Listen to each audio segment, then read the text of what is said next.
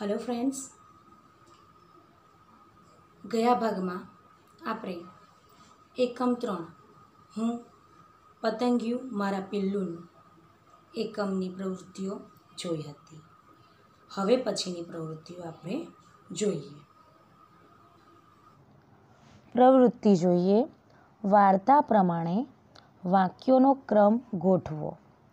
તો ક્રમ ગોઠવવા પહેલાં આપણે પૂરેપૂરી વાર્તાને યાદ કરવી પડે. અને કઈ ઘટના ક્યારે ઘટી છે એને આપણે યાદ રાખવું પડે તો આપણને વાક્યોનો ક્રમ ખ્યાલ આવે. પહેલાં આપણે વાક્યો વાંચી લઈએ. દ્વિજે ઈયળનું નામ પાડ્યું. કોસેટો ચૂપચાપ કડક થઈને પડી રહેલો. લીલા પાંદડા પર પીરા ઈંડા હતા. પિલ્લું ઉડી ગયું. પાંદડા ખાઈ ખાઈને પિલ્લું જાડો પાડો થઈ ગયેલો. તો આમાંથી કયું વાક્ય પહેલા ક્રમે આવશે? તો પહેલું આવશે, લીલા પાંદડા પર પીરા ઈંડા હતા. બરાબર ને? પહેલાં ઈંડા હોય છે ને પાંદડા પર? એટલે પહેલું વાક્ય આપણે લીલા પાંદડા પર પીળા ઈંડા હતા, એ આવશે. ત્યારબાદ બીજું કયું આવશે? ઈંડામાંથી શું બનેલું? ઈયર, સરસ.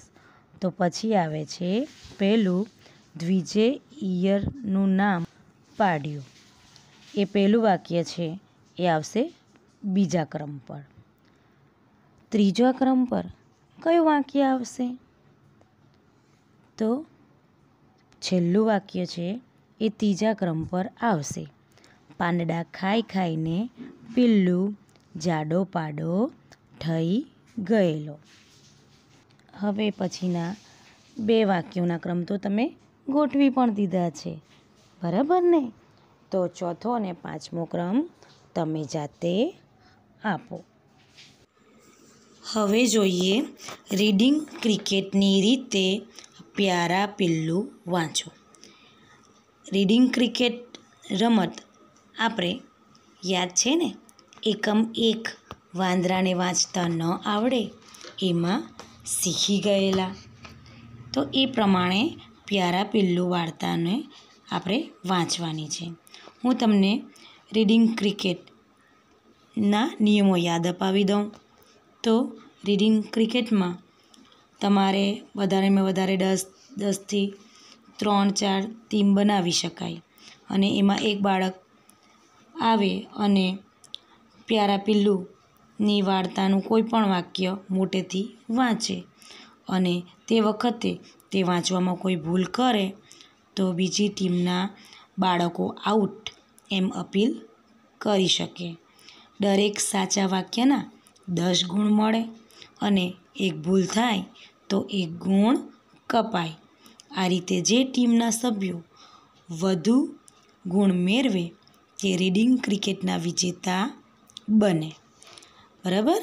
તો એ રીતે પ્યારા પિલ્લું વાર્તા પણ મોઢે થઈ જશે અને તમારી રમત પણ રમાશે.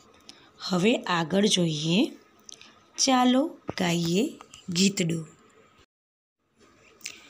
પતંગિયાને આંગળી અડાડસોના ભાઈ પતંગિયાને આંગળી અડાડસોના ભાઈ નરિયું નાજુક છે એ નાનું, મીઠડું મીઠડું અને મજાનું. અડવા જસોના લલચાઈ, પતંગિયાને આંગળી અડાડસોના ભાઈ ભલી ભોળી છે સી આંખ, રંગ રંગ રૂપાળી પાંખ.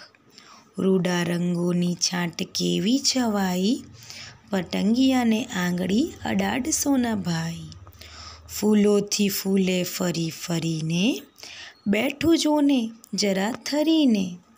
જોયા કરો, ધરાઈ ધરાઈ પતંગિયાને આંગળી અડાડ સોના ભાઈ પતંગિયાને આંગળી અડાડ સોના ભાઈ તો હવે આપણે બીજું સરસ મજાનું ગીત ગાઈશું.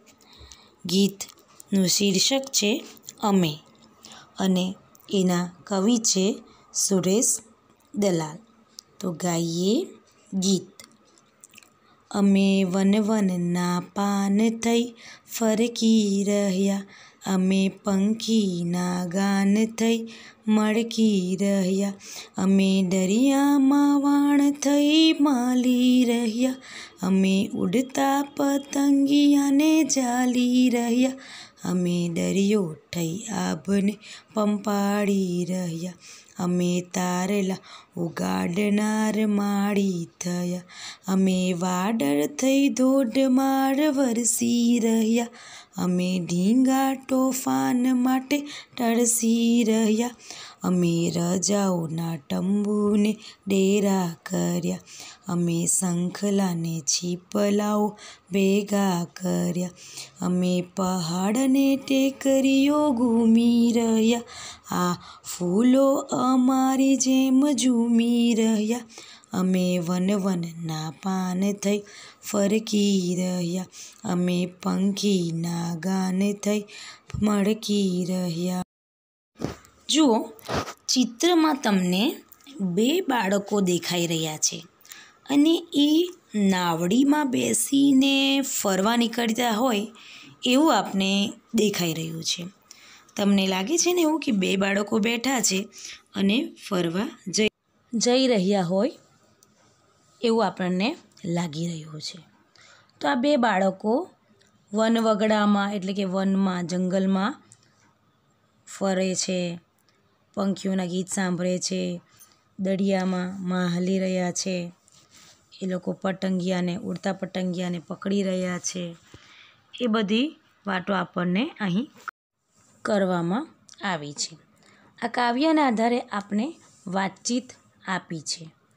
ફક્ત આપણે વાતચીત જ કરવાની છે, એને આધારે આ પ્રશ્નને આપણે જવાબો લખવાના નથી.